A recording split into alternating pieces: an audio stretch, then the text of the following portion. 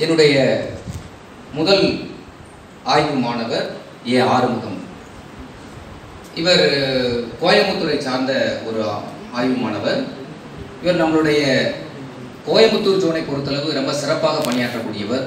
அவர் சார்ந்திருக்கின்ற அறக்கட்டளையிலே நல்ல சிறப்பான தன்னுடைய பணி இருந்தாலும் கூட அவர் சிறப்பாக தன்னுடைய பதிவை ஒவ்வொரு விஷயங்களிலுமே அவர் செய்து கொண்டிருக்கிறார் என்பதை நான் அவர்களே அவருடைய ஆய்வு ஆய்வு மாணவராக வந்ததிலிருந்து நான் அவர் அப்சர்வ் பண்ணிட்டு இருக்கேன்.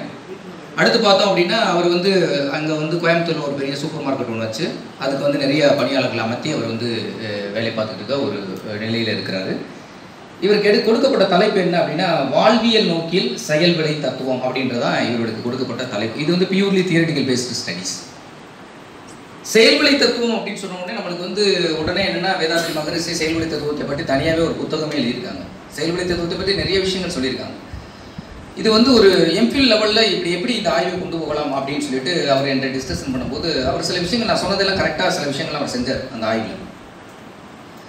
இப்போ வந்து இந்த யோகத்தில் பார்த்தோம் அப்படின்னா நிறைய டைப்ஸ் ஆஃப் யோகாஸ் சார் ராஜ யோகா தந்திர யோகா மந்திர யோகா லய யோகா.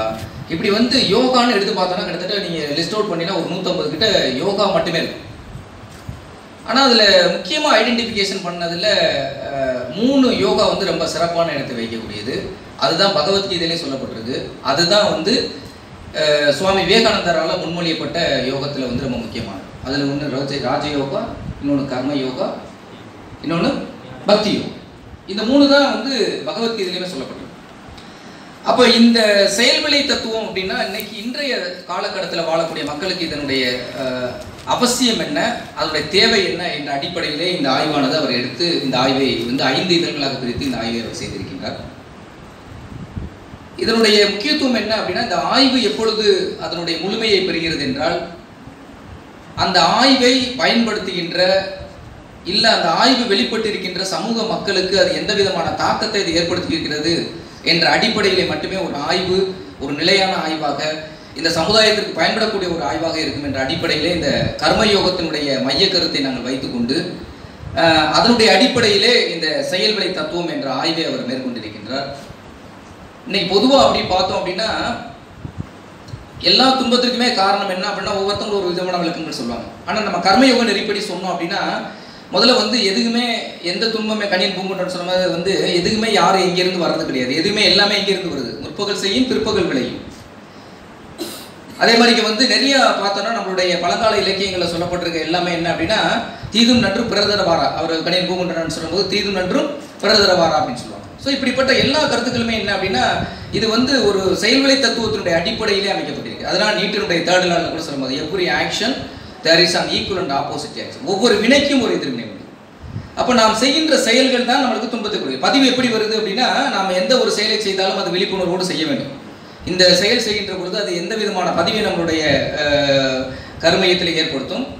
அந்த பதிவு செய்யப்பட்ட அந்த பதிவிற்கு எப்படி தக்க விளைவு எப்பொழுது வரும் எப்படி வரும் என்பது நீங்கள் செய்த செயலினுடைய தன்மை தரத்தை பொறுத்து தான் நம்ம அமையும் இன்றைய காலகட்டத்தில் மக்கள்கிட்ட அதிகமாக துன்பம் பெறுவதற்கு ஒரு முக்கியமான காரணம் என்ன அப்படின்னா முதல்ல தான் செய்கின்ற செயலு செயலுக்கான விளைவே அவர்கள் உணர்வதில்லை. அப்படி செய்வதற்கான செயலை உணர வேண்டும் என்ற அடிப்படையிலே வேதாத்திரியம் அவர்கள் மிக அற்புதமான கருத்துக்களை எல்லாம் தாங்கியிருக்கின்ற இந்த செயல்வழி தத்துவத்தை இந்த அடிப்படை மக்களுக்கு கொடுத்திருந்தாலும் கூட அதில் இருக்கக்கூடிய இன்றைய நவீன காலத்திலே அதை எப்படி பயன்பாட்டுக்கு கொண்டு வர முடியும் என்ற அடிப்படையில் இந்த ஆய்வானது அவர் தொகுத்து வழங்கியிருக்கின்றார். எனவே என்னுடைய ஆய்வு மாணவரை இந்த வைவா வயசினுடைய அவர் தன்னுடைய ஆய்வு தொடர்பான தாங்கள் கேட்கின்ற ஏன்னா வந்து பப்ளிக் வைவாய்ஸ் கிடையாது இதில் பொறுத்தளவு. இது வந்து ஒரு அகநோக் அக ஆய்வியல் மதிப்பு தான். அந்த அடிப்படையில் இப்பொழுது அவர் தன்னுடைய ஆய்வு செய்யப்பட்ட கருத்துக்களை ஒரு சுருக்கமாக அவர்கள் எடுத்துரைக்க வருமாறு அழைக்கின்றனர்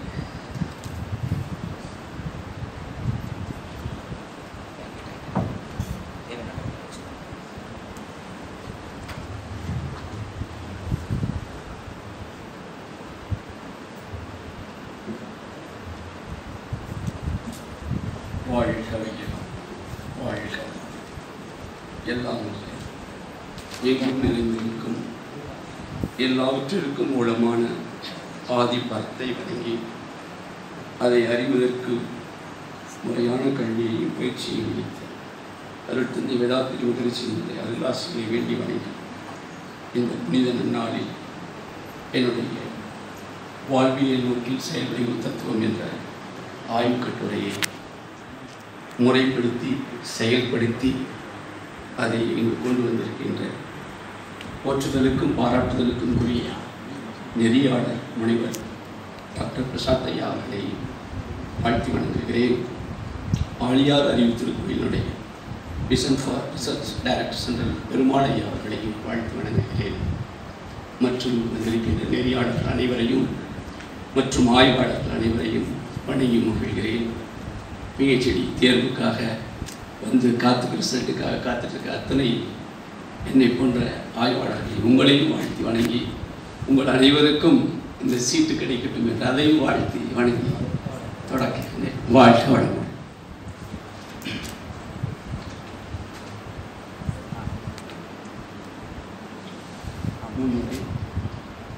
வாழ்க்கை அவரவர் வாழ்வதற்கு என்று மட்டும் கருதக்கூடாது. மற்றவர்கள் நலனுக்கு என்று கருத வேண்டும்.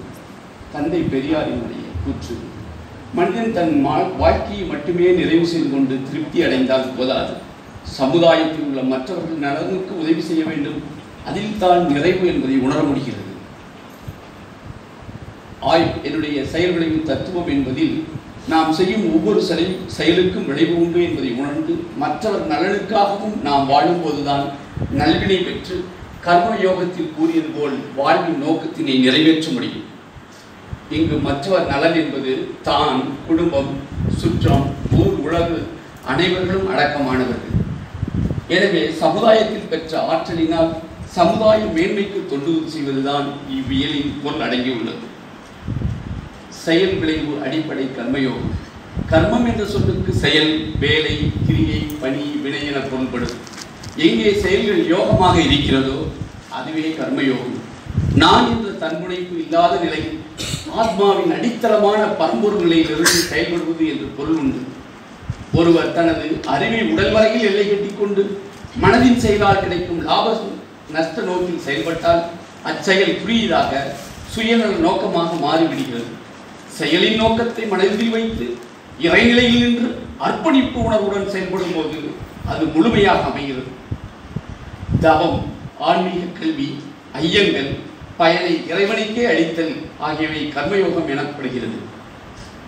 ஆய்வின் நோக்கம் மனித வாழ்க்கையை செம்மைப்படுத்துவதிலும் மனித நாகரிகத்தை வழிபடுவதிலும் தத்துவ ஞானிகளின் பங்கு அளப்பரியது. வரலாற்றின் பல்வேறு காலகட்டங்களில் நூற்றாண்டுகளுக்கு இடைவெளியில் பல தத்துவ ஞானிகள் தோன்றினர். குறிப்பாக இந்தியாவில் ஞானிகளின் வளர்ச்சி அபிரதமாக இருந்தது. புத்தர் மகாவீரர் போன்றவர்கள் தங்களின் தத்துவ கருத்துக்களுடன் மதத்தையும் தோற்றுவித்தனர் இவர்களின் வரிசையில் நாம் கண்ட நூற்றாண்டில் தோன்றிய ஞானி வேதாத்திரி மகிழ்ச்சியாக விளங்குகிறார். எனவே அவரின் தத்துவ கருத்துக்கள் செயல்விளைவு தத்துவம் என்னும் சிந்தனையை அனைத்து தரப்பு மக்களும் பின்பற்ற வேண்டும் என்ற வாழ்வியல் நோக்கில் செயல்விளைவு தத்துவம் என்ற தலைப்பு மேற்கொள்ளப்பட்டுள்ளது. ஆய்வின் முக்கியத்துவம். இன்றைய கணினி யுகம் அனைவருக்கும் தெரிந்தது. மனிதன் தன் விஞ்ஞான அறிவால் உருவாக்கப்பட்ட கருவிகளின் உதவியால் உடல் உழைப்பை குறைத்தும் தொலைத்தொடர்பு கருவிகளை விரைவு போக்குவரத்து சாதனங்கள் பொழுதுபோக்கு கருவிகள் மூலம் எல்லா வசதிகளையும் அனுபவித்து வருகிறான். ஆனால் தனிமனித வாழ்வில் அமைதி மிகவும் பாதிக்கப்பட்டு ஒரு விதமான உளைச்சலில் வாழ்ந்து வருகிறான். இதற்கான அடிப்படை காரணங்கள் அறியவும் உணரவும் முடியாமல் உழன்று வருகிறான். இவற்றிற்கு தீர்வுதான் என்ன? பழமையான நூல்களிலும் காண்கின்றோம். அவசரமான இந்த விஞ்ஞான யுகத்தில் அவற்றையெல்லாம் படித்து உணர்ந்து தெளிவுறுவதற்கு சாதாரண மனிதனுக்கு ஞானமும் நேரமும் பதவில்லை வாழ்க்கை குறிக்கோளை இறைநிலை உணர்ந்து அமைதி பெறுவதற்கான வழிமுறைகளை செயல்விளைவு தத்துவம் என்னும் பொருளில் பேராத்திரி மகரிஷி தெளிவாக விளக்கியுள்ளார். எனதுடைய கருதுகோள் மகரிஷியின் செயல்விளைவு தத்துவம் என்னும் கோட்பாடுகள் மற்றும் தத்துவ கருத்துக்கள் மனித வாழ்க்கையில் பின்பற்றுவதற்கு எளிமையாகவும் வாழ்வினை மேம்படுத்தக்கூடியதாக இருக்கும் என்பது இவ்வாய்வின் கருதுகோளாகும். ஆய்வின் இயல்கள் இயல் ஒன்று வாழ்வியல் முறை பற்றிய சிந்தனைகள் இயல் இரண்டு மதங்களின் புனித நூல்களின் காரண காரிய கருத்துக்கள் இயல் மூன்று மனித வாழ்வில் இன்பமும் துன்பமும் இயல காரணம் இயல் நான்கு செயல் விளைவு கருத்துக்கள் இயல் ஐந்து இயற்கை இயற்கையின் செயல் இயற்கை விதி ஆய்வுக்குள் செல்வோம் இயல் ஒன்று வாழ்வியல் முறை பற்றிய சிந்தனைகள் உயிரினங்களில் பகுத்தறியும் ஆறாவது அறிவு மனிதனுக்குத்தான் உண்டு. ஆறாவது செயல்படும் போதுதான் மனிதன் மனிதனாக வாழ்கிறான். மனித வடிவில் ஏற்படும் இன்ப துன்பங்களுக்கு ஆறாவது சரியாக பயன்படுத்தாததே காரணம் என்று கூறும் வேதாத்திரி மகரிஷி அவர்கள் வாழ்க்கை சார்ந்த பல சிந்தனைகளை அவரது நூல்களிலும் பேச்சுக்களிலும் பல இடங்களிலும் தெளிவுபடுத்துகிறார்.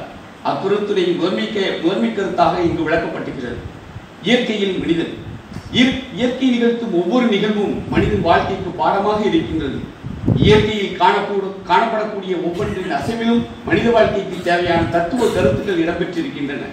இரவு பகல் மாறி மாறி வருவது வாழ்வில் இன்ப துன்பங்களும் மாறி மாறி வரும் என்பதையும் வளர்பிறை தேய்பிறை போன்ற வாழ்க்கையில் ஏற்ற தாழ்வுகள் அமையும் என்பதையும் ஒரு வித்து செடியாகி மரமாகி பூத்துக்கள் பூத்து காய்த்து உதிர்ந்து மீண்டும் வித்து வித்தாவது போல் மனித தோற்றமும் வளர்ச்சி வீழ்ச்சி மீண்டும் தோற்றம் போன்றவற்றில் குறியீடாக அமைகின்றன. இயற்கையில் என்பதில் முற்றறிவாக உள்ளது அதுவே மனித இயற்கையின் ஒரு பகுதி.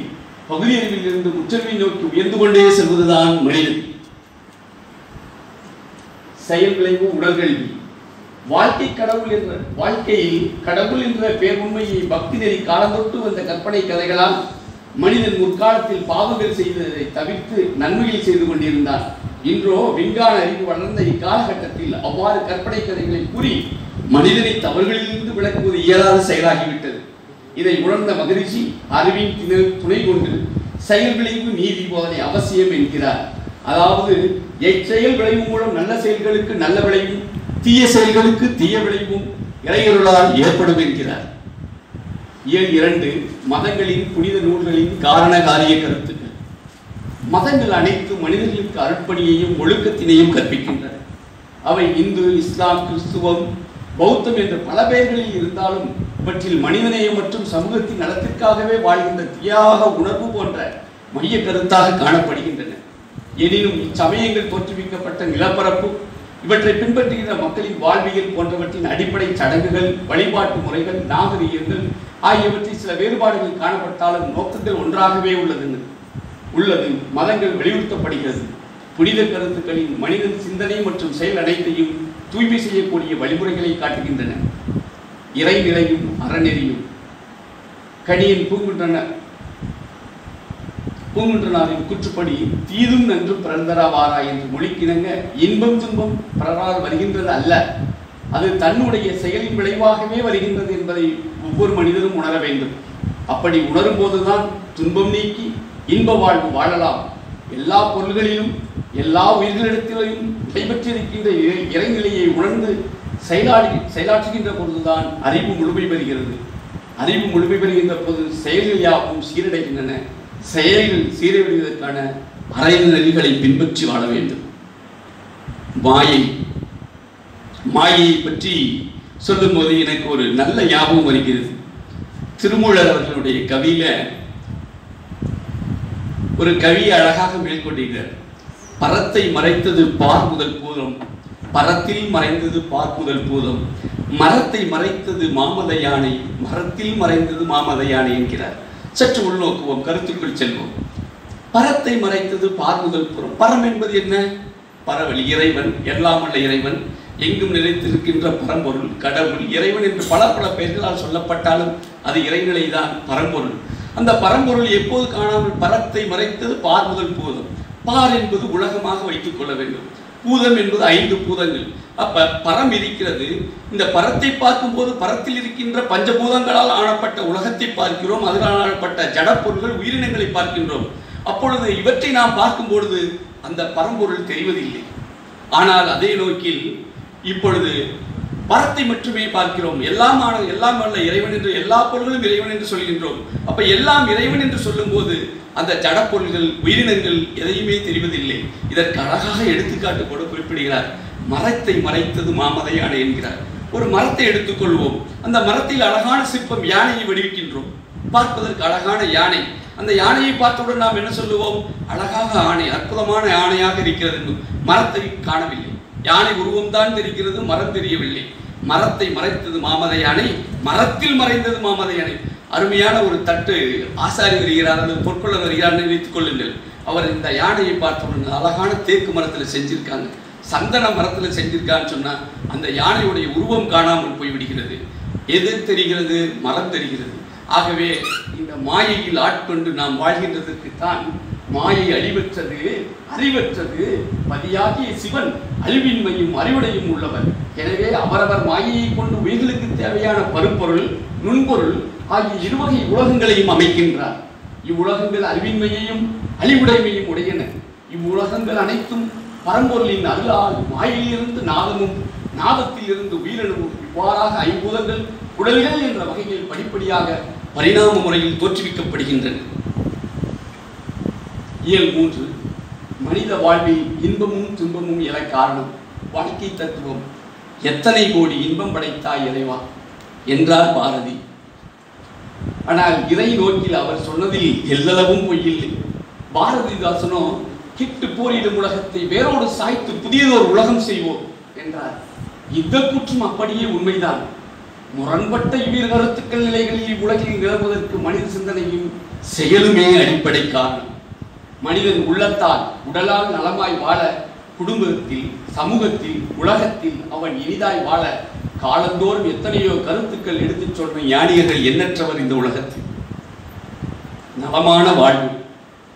உபநிலங்களில் பிரம்ம சிந்தனையில் புலப்படும் முக்கிய அம்சங்களில் ஒன்று அனைத்து நேசிப்பு அன்பு. நேசிப்பதற்கு தடையாக உள்ள ஆசாபாசங்களும் விருப்பு வெறுப்புகளும் ஒருவரிவரை ஒரு நேசிக்க அறிந்தால் தான் அன்பு உதயமாகும். கூட்டுறவு எனப்படும் பிரச்சனையை தீர்க்க வல்ல அறிவு உதயமாகும் என்கிறார் தத்துவஞானி கிருஷ்ணமூர்த்தி. கூட்டுறவு எனப்படும் எந்த பிரச்சனையும் தீர்க்க வல்ல அறிவு உதயமாகும் என்கிறார் கிருஷ்ணமூர்த்தி அவர்கள்.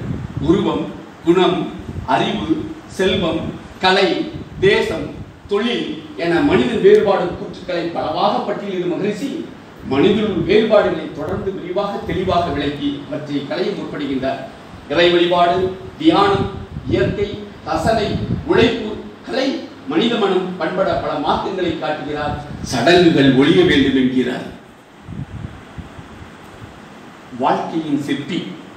இன்று மக்களிடையே இவரை கெடுத்து விட வேண்டும். இன்னும் பல பல விதத்திலும் தீய எண்ணம் மலிவாக காணப்படுகிறது. ஆகையால் அந்த எண்ணங்கள் செயல்படாமல் அவரவர்களும் எதிர் நடவடிக்கை மூலம் தடுத்துக் கொண்டிருக்கிறார்கள்.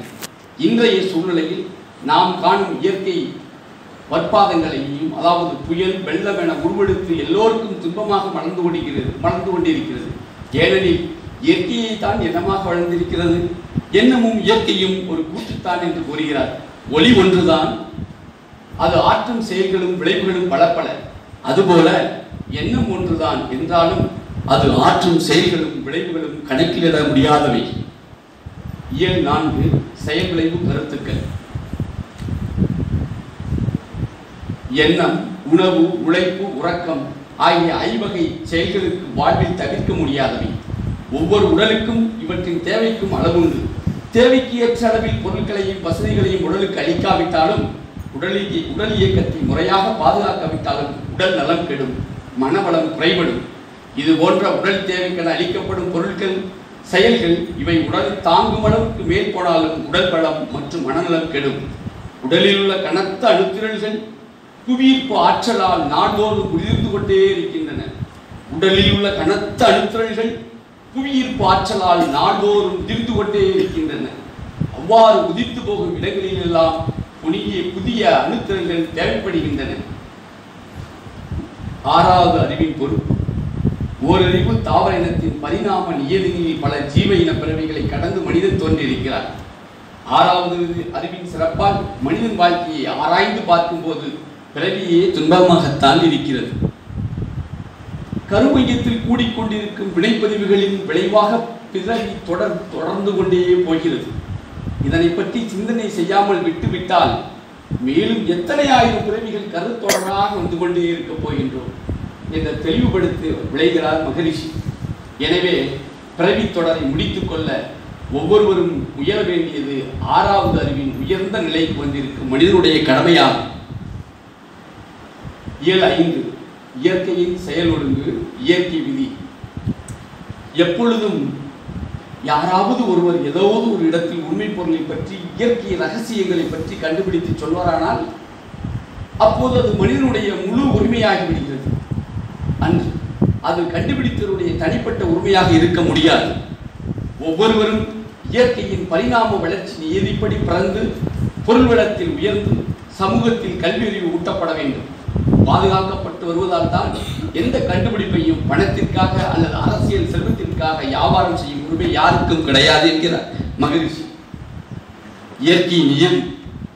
இயற்கை வளங்களில் அவசியம் இல்லாத அடங்கி இருக்கும் இறைநிலையை இரண்டாக பிளவுபட்டிருக்கிறது இயற்கை வளங்களில் அவசியம் இல்லாதவையும் அடங்கி இருக்கும் இறைநிலையை இரண்டாக பிளவுபட்டிருக்கிறது அழுத்து என்னும் உந்து ஆற்றல் ஒன்றுதான் ஆனால் எந்த ஆனால் அந்த அழுத்துகின்ற ஆற்றலே மையமறைக்கு போய் திரும்பி போகும்போது விளக்கு மாற்றலாக இரண்டுபட்டு பிரபஞ்ச ஈர்ப்பு அலைகளும் விளக்கு அலைகளும் நிறைந்துள்ளது. மனிதனுள்ளும் மனமாகவும் அறிவாகவும் இரண்டுபடுகிறது மீண்டும் உள் செல்வோம். அழுத்தம் என்னும் உந்து ஆற்றல் ஒன்றுதான். ஆனால் அந்த அழுத்துகின்ற ஆற்றலே மையமறைக்கு போய் திரும்புகின்ற போது விளக்கு ஆற்றலாக இரண்டுபட்டு பிரபஞ்ச ஈர்ப்பு அலைகளும் விளக்கு அலைகளும் நிறைந்துள்ளது.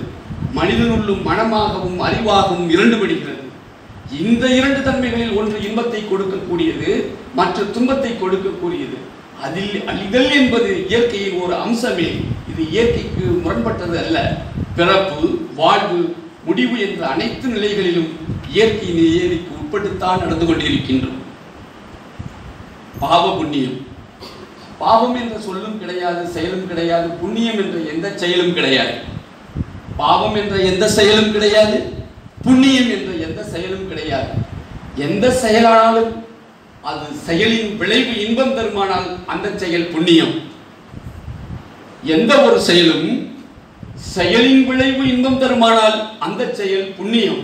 அதற்கு மாறாக ஒரு செயலின் விளைவு துன்பம் தருமானால் அச்செயலே பாவம். எண்ணம் சொல் செயல் ஆகிய மூன்றில் எந்த ஒன்றானாலும் ஆற்றப்பெறும் செயல் உடல் கருவி கர்மேந்திரியம் அல்லது புலன் ஞான இந்திரியம் மூளை உயிரணுக்கள் பிரபஞ்ச ஆற்றல் ஆகியவற்றில் பதிவுகளை ஏற்படுத்துகிறது. இறை உணர்வும் அறநெறியும் இந்திய திருநாட்டில் பெரும் ஞானிகள் தங்களது அயராத உழைப்போடு காலத்தால் எத்தனையோ தலைமுறையாக ஒன்றுபட்டு இயற்கைய ரகசியங்களை எல்லாம் உணர்ந்து மக்களுக்கு வழிப வழிபாடு வழிபடும் முறையை பற்றி வாழும் நெறியை பற்றியும் காண்பித்திருக்கிறார்கள். அவளையும் சேர்த்து பார்த்தால் இந்த மதத்தை எடுத்துக்கொண்டால் எந்த மதத்தை எடுத்துக்கொண்டாலும் இரண்டு சிறப்பம்சங்கள் குறிப்பிடப்படுகின்றன. ஒன்று சமுதாயத்தில் எப்படி மக்களோடு தொடர்பு கொண்டு வாழ வேண்டும் இயற்கையோடு எப்படி வாழ வேண்டும் என்ற ஒரு கருத்தினையும் நாம் எடுத்துக்கொள்ள வேண்டும்.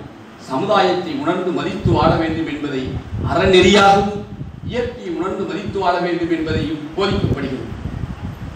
செயல் விளைவு. நாம் செய்யும் ஒவ்வொரு செயலுக்கும் ஒரு வெளிப்பாடு ஏற்படுகிறது. செய்பவன் திறமை செயல்புரியும் இடம் காலம் இவற்றிற்கு இன்பமாகவோ துன்பமாகவோ விளையும். இதுதான் தெய்வ நீதி. நாம் செய்யும் ஒவ்வொரு செயலும் வெளிப்பாடு ஏற்படுகிறது. செய்பவன் திறமை செயல்புரியும் இடம் காலம் இவற்றிற்கேற்ப இன்பமாகவோ துன்பமாகவோ விளையும். இதுதான் தெய்வ நீதி. நன்மை செய்பவருக்கு தெய்வம் தரும் நீதி இன்பம். தவறு செய்பவனுக்கு தெய்வம் தரும் நீதி துன்பம். செயலில்லாத விளைவும் இல்லை விளைவு இல்லாத செயலும் இல்லை. செயலில்லாத விளைவும் இல்லை விளைவு இல்லாத செயலும் இல்லை. பிரபஞ்ச ஆற்றல். இயற்கையின் படைப்புகளில் பிரபஞ்சம் கோள்கள் கோள்கள் அமைந்துள்ள உயிர் உயிர் உயிரில்லா பொருள்கள் பிரபஞ்சத்தில் உள்ள பேராற்றல் போன்றவை எல்லாம் இயற்கையின் நெறிமுறைகளுடன் செயல்படுகின்றன என்கிறார் மகரிஷி. இயற்கையின் படைப்புகளில் மனிதன் மட்டுமே சிந்திக்கவும் செயல்படுத்தவும் தெரிந்த பேரறிவு படைத்த மனிதனாக விளங்குகிறான். முடிவுரை. வாழ்வியல் முறை பற்றிய சிந்தனைகள். வாழ்வியல் முறை பற்றிய சிந்தனைகள் என்னும் முதல் இயலில் இயற்கையில் மனிதன் மனித வாழ்க்கை மனிதனின் கடமை இறை உணர்வும் அறநெறியும் மாயை பற்றிய கருத்துக்கள் செயல்விளைவு தத்துவம் இயற்கை நியதி பாவ புண்ணியம் வாழ்க்கையின் சமநிலை போன்ற கருத்துக்கள் விளக்கப்பட்டுள்ளன.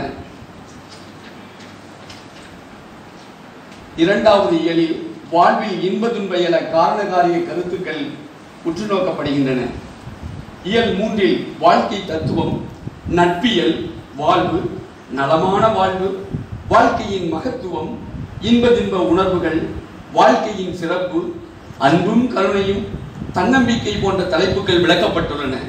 செயல் விளைவு கருத்துக்கள் என்னும் நான்காம் இயலில் செயல் விளைவு மனவிளக்கம் செயல் விளைவு தத்துவம் மனித வளம் மறைபொருளாகிய மனம் ஆறாவது அறிவின் சிறப்பு போன்ற தலைப்புகள் பரிந்துரைக்கப்பட்டு விளக்கப்பட்டுள்ளது.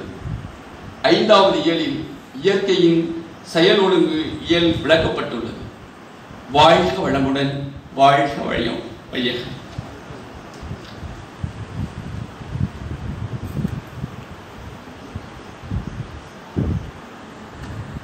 தொடர்பான உங்களுடைய கொஸ்டின்ஸை நீங்கள் கேட்கலாம். இதில் ஒரு சின்ன ஒரு விஷயம் என்னென்னா அந்த சின்ன எரர் வந்ததுக்கு என்ன காரணம் அந்த டைப்பிங் எரர் மட்டும் இருக்கும். அது காரணம் என்ன அப்படின்னா அவங்களுடைய அதாவது டைப்பிங் இல்லை டைப்பிங் இது எப்படி வேணும்னா பாண்ட் ப்ராப்ளத்தில் அது மாடலைஸ் பண்ணும்போது அது ஆட்டோமேட்டிக்காகவே அது சேஞ்சஸ் ஆகிடுச்சு ஸோ அதுதான். ரைட் வேறு கொஸ்டின்ஸ் நீங்கள்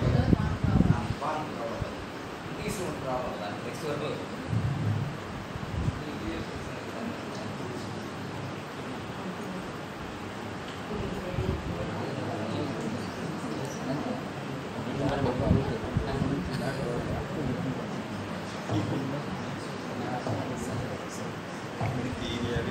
Yes. Please, ma'am.